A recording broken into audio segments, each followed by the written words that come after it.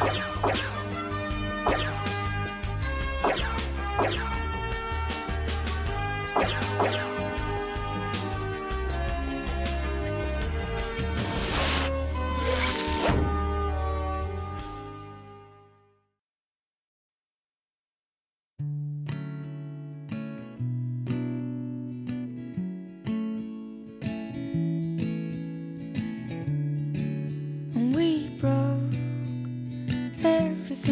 Was right. We both enjoyed a good fight. And we sold all the holes we had to prove to make the other one leave. And I loved the way you looked at me. And I miss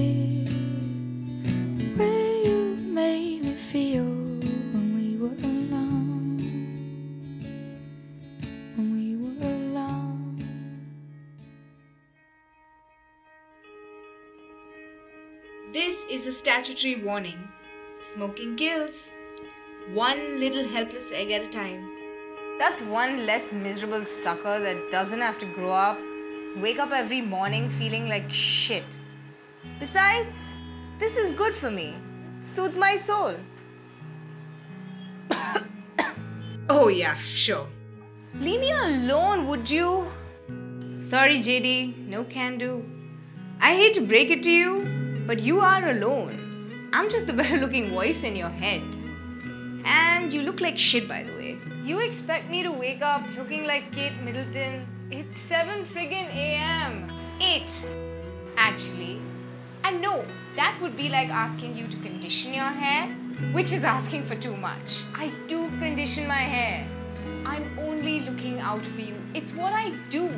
And while your hair does look like it's something out of Edward Scissorhands, I'm more concerned about what's going on in your head. So, a boy, huh? Gotta say, I'm a little surprised. I always thought you were, you know, playing for the other team. I feel like we've reached that awkward point in a party where you're drunk and saying inappropriate things. Oh, no way. The party don't start till I walk in and I'm at least six shots down. I'm just getting started. So, what's troubling you, kid? Oh, please. Spare me the emotional interrogation, drunk Dr. Phil. How dare you take the Lord's name in vain? Come on. You love talking about your problems. Everyone does. That's why reality shows do so well. They should really let you have your own show.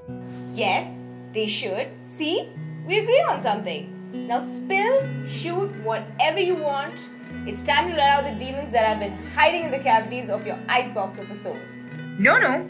There's just a demon that looks an awful lot like you. Well, wouldn't that be a good thing? If all demons looked like me. Not if they sounded like you. You know what? Enough about me. Let's talk about you. Wow. Already? Are you sure? You can't stop thinking about him, can you?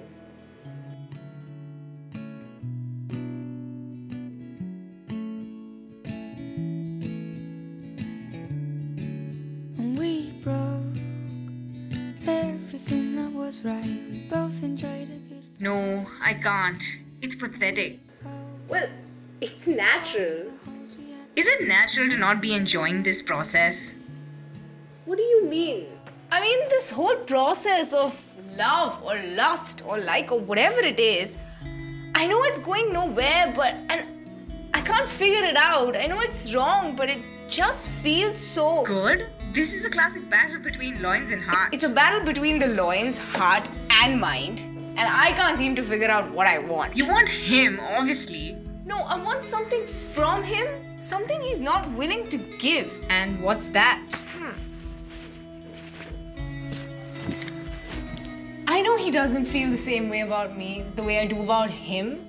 And there's always this sense of equality that I'm trying to achieve.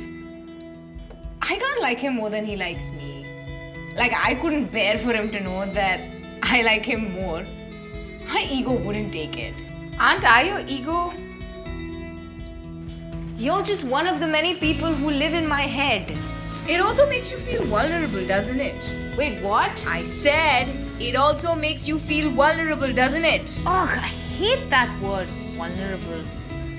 It's it's such a female-centric word like mollycoddle or hormonal. These hormones and boys. Wait, I just made female centric sound like a negative thing. Yeah, you're kind of a sexist feminist. That's horrible. We got religiously, historically, mentally, physically, socially, and phonetically. We didn't even get the raw end of the deal.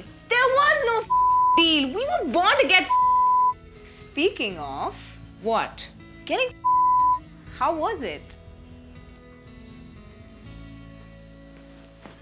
Well, it happened and it was strange but nice. You know, he was he was still discovering my sweet spots and where to touch me and how to touch me. Um, honestly though, I was in it just for the cuddling. The post-coital cuddle syndrome. Most women suffer from it. I see why. And he has these hands that that make me feel less important. And that's a good thing. I give myself way too much importance and he breaks that down. He breaks down all of my Iron Woman balls and I'm left feeling like like a, a puddle of mush. A pool of mush rather and I'm always stuck at the deep end. You know, he is very attractive. That he is. He's also kind, funny, and charming, and other obvious qualities one looks for in a guy. But, but on a bad day, all those amazing things about him can't change the fact that he is still a patronizing, self centered, insensitive child. You're not exactly in the running for Miss Perfect either. I'm aware of that, thank you. You know, when I'm with him, it all makes sense. And I think that this might actually work. And when there are people around, he plays it super cool. Yeah, and then he becomes this exaggerated, amplified version of himself, which at first is attractive and then it gets annoying. Is that why Stone Cold Steve Austin has been making frequent appearances of late? That's probably why. You know, he's become my standby persona. This I'm so boss, I have feelings made of razor sharp ice blades, so don't come close or I'll cut you. You mean don't come close or I'll melt. Ugh. Damn you, you're right. I suck. There's a reason they call me the super ego. I'm here to save you from making the same mistake twice. I mean, why am I spending so much of my time and mental space on someone I've known for so little time? Granted, he makes me feel like, like, woman, which for you is a rare feeling. Your poor ovaries. My ovaries are just fine. You need to worry about who's gonna father my children first. I hope you know you have a lot more to offer. All the gold lies here. Oh, don't flatter yourself. What I mean is, you have a lot more going on for you on the inside, and he'd be a fool if he didn't appreciate this. You see, you have this wonderfully warped mind and a big bleeding heart and a belly full of warmth and goodness. Basically, you belong to that rare breed of women that men are petrified of. Wait, when you said that I have a lot more going on for me on the inside, are you saying that I don't have much going on on the outside? Janet, just don't settle. Right, I'm gonna die alone. So, what are you going to do? I'm going to get the hell out of here because I am mortifyingly late.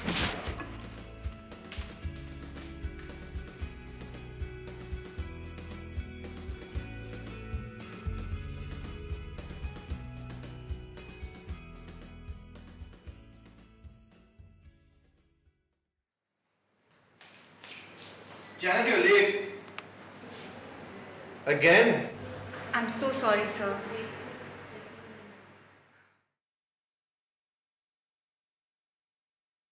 May I feel? said he. I'll squeal, said she. Just once, said he. It's fun, said she. May I touch? said he. How much? said she. A lot, said he. Why not? said she. Let's go, said he. Not too far, said she. What's too far? said he. Where you are, said she. May I stay? said he. Which way? said she. Like this, said he. If you kiss, said she. You're divine, said he. You are mine, said she.